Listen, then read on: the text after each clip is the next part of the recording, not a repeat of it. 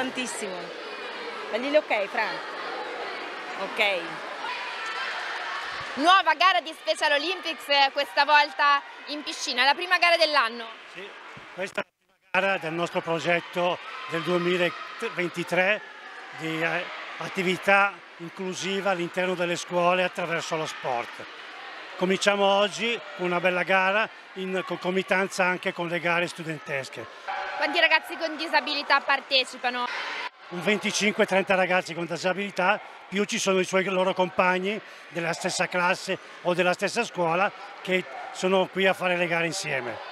Gareggiano proprio insieme, sì? Sì, sì, sono insieme, nella stessa piscina e i tempi vengono presi singolarmente, quindi loro si possono inserire nella classifica generale. Un'ottima partecipazione, circa 200 ragazzi di 11 scuole, tra scuole medie e scuole superiori, quindi siamo contenti. È stato un giorno speciale grazie a questi Special Olympics.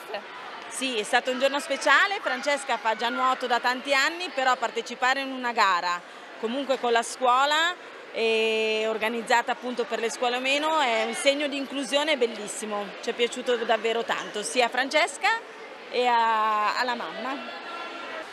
Come ti chiami? Io eh, Ciao Simone, sei pronto per la gara? sì, In bocca al lupo allora, buona fortuna! tia. Grazie, grazie. Dai che vincerai, vincerò. Quali sono le prossime gare in programma?